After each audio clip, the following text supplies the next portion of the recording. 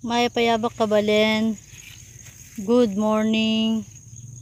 Magandang umaga mga ka-team Canher. Andito tayo ngayon sa ating mga pananim na mais. So itong area na to, ito yung 2 and a half months na ngayon. Na kung makikita nyo, nasa loob po tayo. Ah, malalaki na yung bunga. As in namumunga na. So yung other side, namumu ah, parang namumulaklak pa lang. Kasi nahuli. Pumasok ako para ipakita ko sa inyo yung mga ah, kinain ng ah, kinain ng daga. So actually, ayan po. Yan po yung mga nasira ng daga. Kahapon nagbigay po ang DAR ng mga panlason sa daga.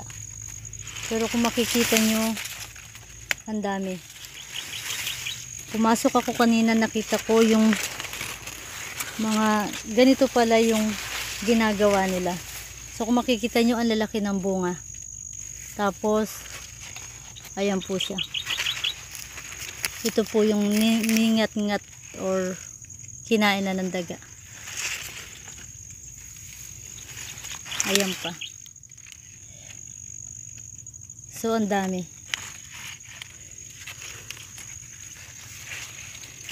Nandito pa lang po tayo sa bungad ko pero makikita mo ang dami nilang nasira na. Ang mahal pa naman po ng gastusin ng mais. Ayan po siya. Ayan yung isa na tignan nyo. Napa, pinaka worst yata ito na nakita kong pagkakaano niya. So halos lahat po ng area. Ito pa siya. Ito. Yung ang laki-laki ng puhunan at saka pagod. Tapos makikita mo yung pag namunga na. Kalaban mo naman yung mga peste. Ayan po, nakailan na tayo. Ang dami. So, labas lang tayo sandali para ipakita ko sa inyo yung sinasabi ko kanina. Na, ito, palabas tayo.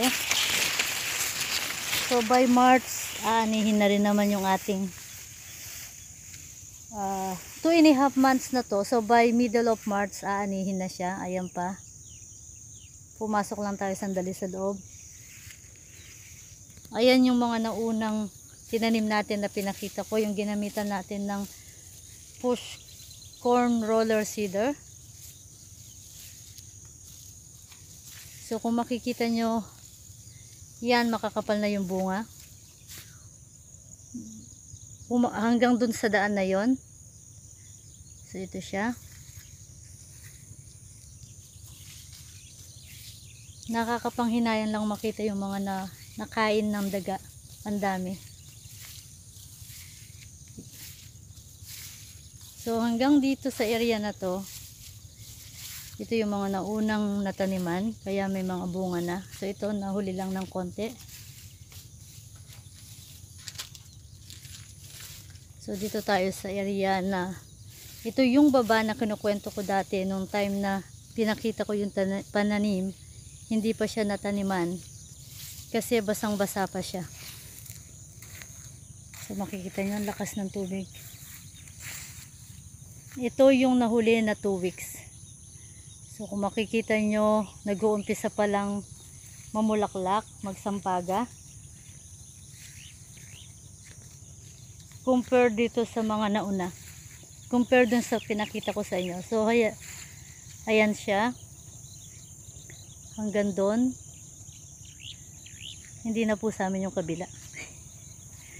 So yan, makikita nyo hindi pantay. Kasi dito ang problema yung lupa. Medyo maasim siya. Nilagyan din, inispray din siya ng asin, baking soda, para daw tumabang ng konti. Kasi medyo maasim yung lupa.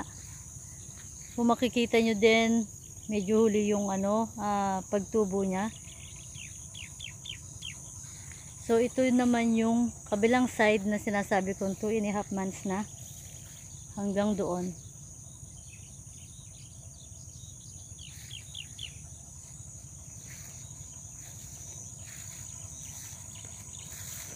So ito pala yung problema pag bunga na, namumunga na. Ang kalaban mo naman yung pesteng sumisira sa mga bunga. Na nakakapanghinayang kasi napabunga mo na, ang gaganda ng bunga, tapos masisira lang din.